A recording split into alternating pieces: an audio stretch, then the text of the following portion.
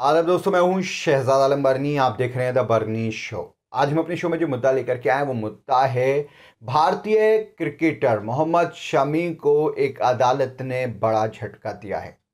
2018 से मोहम्मद शमी और उनकी पत्नी हसीन जहाँ का केस चल रहा है, गुजारा भत्ता को लेकर के। हसीन जहाँ ने मोहम्मद शमी पर आरोप लगाए थे, काफ़ी गंभीर आरोप थे, जिसके बाद दोनों अलग हो गए थे और हसीन जहाँ ने 2018 में एक याचिका दायर की थी, जिसमें उन्होंने 10 लाख रुपए प्रति माह की मांग की थी। मोहम्मद शमी से गुजारे भत्ते के तौर पर।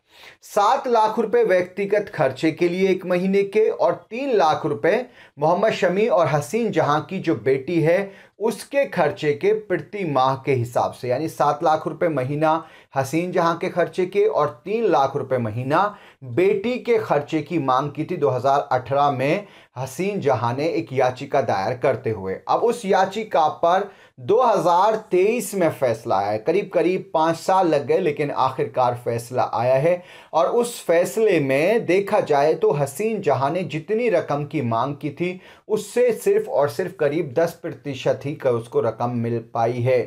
एक लाख तीस हज़ार रुपये प्रति माह देने पड़ेंगे मोहम्मद शामी को, जिसमें से पचास हज़ार रुपये प्रति माह गुजारा भत्ते के तौर पर हसीन जहाँ को मिलेंगे और अस्सी हज़ार रुपये महीना बेटी के खर्चे के तौर पर, यानी उसके रख रखाव के लिए। चूँकि बेटी जो है, वो हसीन जहाँ के साथ रहती है, ऐसे में बेटी की पढ़ाई, उसके खर्चे, इसके सिलसिले में अस्सी हज़ार रुपये महीना बाकायदा कोर्ट ने ऑर्डर किया है कि पचास हज़ार प्लस अस्सी हज़ार कुल मिला के एक लाख तीस हज़ार रुपये महीना अब मोहम्मद शमी को अपनी पत्नी को देने होंगे हर महीने गुजारे भत्ते के तौर पर। हालाँकि इसको लेकर के हसीन जहाँ ने अभी भी कहा है कि वो और आगे जाएँगी इस मामले में, चूँकि इससे गुजारा नहीं होने वाला है।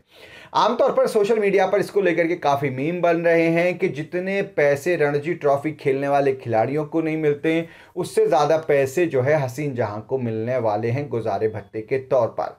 बहरहाल, लेकिन गुजारे भत्ते के तौर पर पचास हज़ार रुपये हसीन जहाँ को हर महीने और अस्सी हज़ार रुपये बेटी के खर्चे के हर महीने अब मोहम्मद शामी को देने होंगे, चूँकि कोर्ट ने इस मामले में ऑर्डर कर दिया है। आप इस फैसले को किस तरीके से देखते हैं, अपनी राय ज़रूर बताएँ। वीडियो के नीचे कमेंट बॉक्स है, उस कमेंट बॉक्स में जाएँ, जाकर के अपनी राय हमें ज़रूर बताएँ। आज के इस एपिसोड में इतना ही। हमारी आपसे रिक्वेस्ट है, इस वीडियो को शेयर ज़रूर करें और हमारे चैनल को सब्सक्राइब ज़रूर करें। और आप हमें सोशल मीडिया पर, यानी इंस्टा ट्विटर और फेसबुक पर फॉलो करने के लिए वीडियो के नीचे जो लिंक्स दिए हुए हैं, उन लिंक्स पर जाकर आप हमें सोशल मीडिया पर फॉलो कर सकते हैं। बहुत बहुत शुक्रिया।